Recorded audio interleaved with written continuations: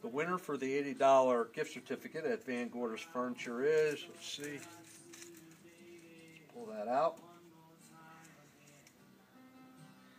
Lisa Morgan Theobald.